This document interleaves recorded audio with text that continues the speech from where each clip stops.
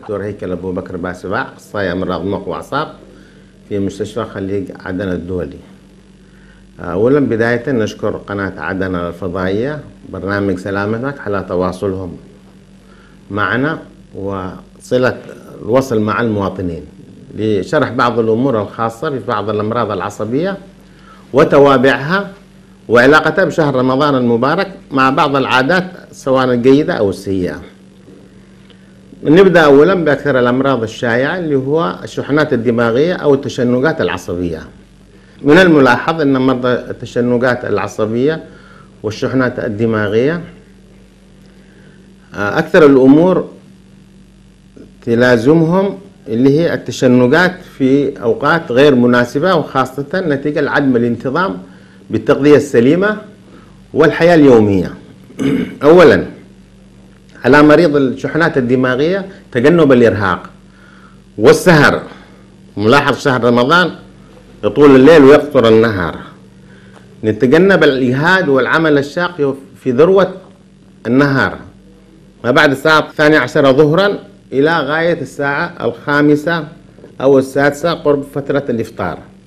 تكون نسبة سكريات الدم في أقل ما يمكن مما يعرض المريض وعنده القابلية طبعا للتشنجات العصبية. ننوه بهذا الموضوع.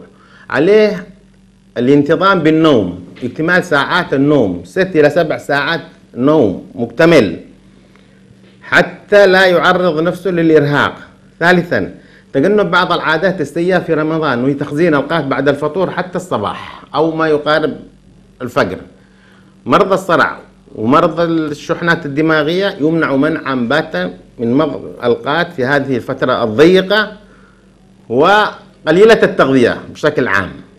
طبعا المخزن ما بياكلش ولا بيشرب بيظل هو القات. نتجنب هذه الأمور تعمل لنا مشكلتين للمريض. أولا إرهاق ذهني وثانيا تقليل نسبة السكريات في الدم. ثالث شيء والمعضلة الكبيرة اللي هو الانتظام بالأدوية. مريض الصرع أو مريض الشحنات الدماغية عادة ما أدنى حد من الجرعة واحد إلى اثنتين إلى جرعتين. فعليه تقسيمها ما بين الفترة من فترة الإفطار حتى فترة السحور. وإن وجدت الجرعة الثالثة فهي تكون ما بينهما. لكن هذا لا يعطينا التوزيع الصحيح والكامل لنسبة الدواء في الدم. فيظل المريض من بعد الخامسة فجرا أو السادسة فجرا إلى ثاني يوم وقت الإفطار جسم غير مكتمل أو نسبة الدواء في الدم قليلة غير متوزعة بانتظام بينما تتركز في فترة المساء. لهذا يحاول المريض في فترة النهار تجنيب نفسه من العمل الشاق ومن الإجهاد حتى لا يتعرض لتشنجات يعني في أوقات غير غير مناسبة غير مناسبة خاصة خارج البيت. الشيء الثاني اللي نتكلم عنه المنبهات على مريض الشحنات الدماغية. والتشنجات الصرعية تجنب أخذ المنبهات. نبدأها بالقات. وتاليها القهوة والشاي في فترة الإفطار طبعا وما بعده. لأنها من الأمور المحفزة لحصول التشنجات الصرعية. ثاني شيء نوعية التغذية. مرضى الشحنات الدماغية عليهم التركيز على المواد السكرية والنشوية أكثر من البروتينات. لأن الدماغ بحاجة إلى هذه المواد لتغذية الدماغ ولرفع نسبة السكر في الدم مع مراعاة مرضى السكر وكبير السن طبعا. نتمنى أنه يكون وصل كلامنا ونصائحنا لهؤلاء المرضى وأكثرهم طبعا هم من الشباب للأسف الشديد نتيجة للإرهاق وكثرة تعاطي القات وقلة النوم. ناهيك عن الجهد العضلي أو الذهني. من الأمراض الشائعة في شهر رمضان الكريم وطبعا السبب هو عاداتنا السيئة اللي هو أمراض الشلل والجلطات الدماغية. فمنهم الحالات المعروفة والمداومة على العيادات وتأخذ طبعا أدويتها بشكل منتظم. ومنهم الحالات الجديدة الناتجة عن قلة السوائل بشكل عام مما يحفز الجسم لحدوث الجلطات الدماغية. هذا سبب من الأسباب.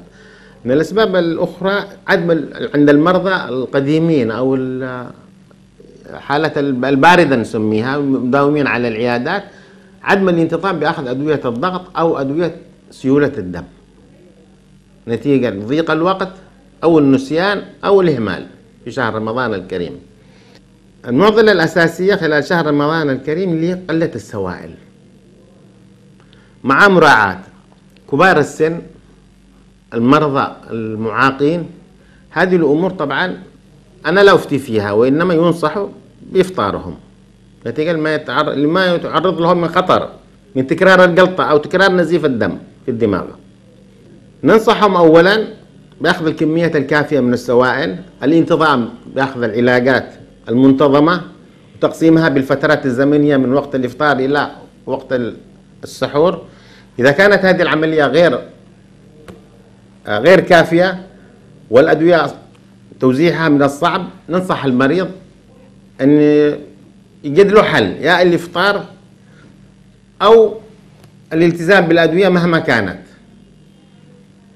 الحاجة الثانية الإرهاق. لا يجوز للمرضى الجلطات الدماغية والنزيف الدماغي والشلل السهر والعمل العمل المضني خلال النهار. لابد من الراحة التامة والتغذية السليمة. وفي كل الأحوال ننصحهم بالسكريات مع مراعاة نسبة السكر في الدم لأن أغلبهم كبار في السن وعليهم مراعاة آه، المواد السكرية والنشوية وأخذ الأدوية سواء كانوا مرضى السكر أو غير السكر. الحالة الثانية أدوية الضغط. لابد من الانتظام بها وتوزيعها بشكل مناسب خلال الفترة القصيرة من الإفطار حتى السحور. علاقة المرضى التشنجات الصرعية والشحنات الدماغية بحالات آه، أو جائحة آه، كورونا. طبعا هؤلاء المرضى هو من أكثر المرضى المعرضين لمثل هذه الحالات لنتيجة لنقص المناعة عندهم. ناهيك عن أغلبهم يعانون من قصور دماغي.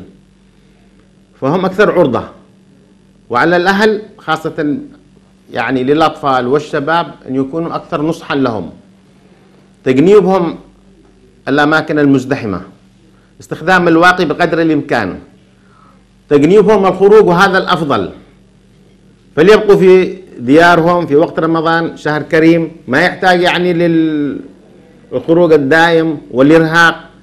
أقل شيء بهذا الفتر وبهذه الغمة على ما تزول بإذن الله خلال الشهر الكريم وإن شاء الله الأمور تمر على خير.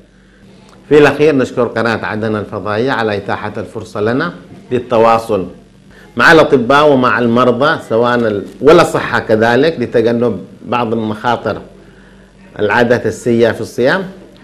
ونتمنى لهم صوما مقبولا بإذن الله.